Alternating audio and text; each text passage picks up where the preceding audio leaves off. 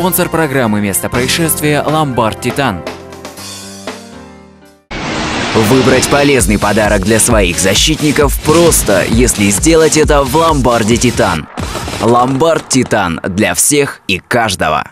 Следственный комитет проводит проверку по факту гибели восьмилетней девочки в пожаре в поселке Демьяново. ЧП произошло 15 февраля около 8 утра. В квартире было сильное задымление, тело погибшей обнаружили пожарные.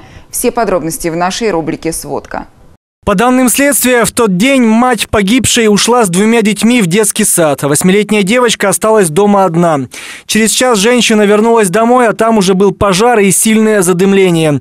На месте пожара сотрудники МЧС нашли тело ребенка. В настоящее время по данному факту следователями проводится доследственная проверка, проведен осмотр места происшествия, также назначены экспертиза с целью установления причин смерти, а также пожарно-техническая экспертиза с целью установления причин пожара. По результатам проведения данной доследственной проверки будет принято процессуальное решение. Следственный комитет начал проверку по факту смерти четырехлетней девочки от гриппа. По версии следствия, 8 февраля состояние ребенка ухудшилось.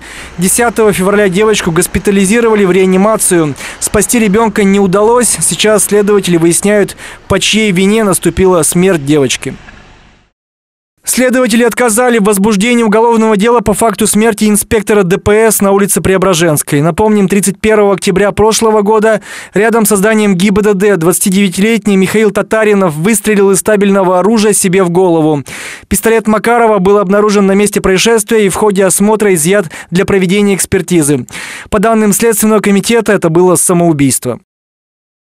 После прокурорской проверки Следственный комитет возбудил уголовное дело в отношении главы Малмыжа Фатимы Ашраповой. По данным следствия, чиновница не давала местному предпринимателю запустить в эксплуатацию магазин. Прокуратура усмотрела в действиях Ашраповой незаконные действия.